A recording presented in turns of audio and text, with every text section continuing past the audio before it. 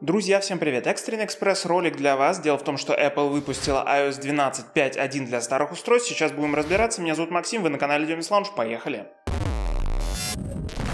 Итак, прям быстро, что за обновление, для кого что обновилось? Обновление для старых устройств это iPad Air, iPad mini второго третьего поколения, iPhone 5s, iPhone 6 и 6 Plus и, конечно же, iPod Touch шестого поколения. И это обновление правит баги. А именно тот баг, который возник в функции отслеживания контактов, которая помогает для выявления ковида, вот эти все дела, там некорректно было переведено, некорректно переводилось на разные языки в разных регионах. Сейчас это поправили и теперь уже все должно работать хорошо. Стоит ли обновляться? Я думаю, что если у вас уже стоит 12.5, то стоит, потому что понятное дело, что исправили баг функции, которой вы скорее всего не пользуетесь, но тем не менее, почему не обновиться? Но если вы сидите на предыдущих версиях и вас все устраивает, то, наверное, тогда не стоит, потому что чего-то прям нового, сверхъестественного это обновление не привносит. Но здесь для нас тоже важная штука. Дело в том, что Apple выпустила это обновление вчера вечером, а это значит, что это первое обновление iOS в 2021 году, и Apple потихоньку выходит из своего вот этого новогоднего раннего анабиоза. Я напоминаю, что мы же 4 недели ждем следующую бета-версию 14.4, и есть ощущение, что на этой неделе мы все-таки наконец-то ее увидим. Чтобы это не пропустить, вот там внизу подписывайтесь на канал, жмите на колокол, вам придет уведомление. Если же этот короткий ролик был вам полезен, пожалуйста, поставьте ему большой палец вверх, мне это будет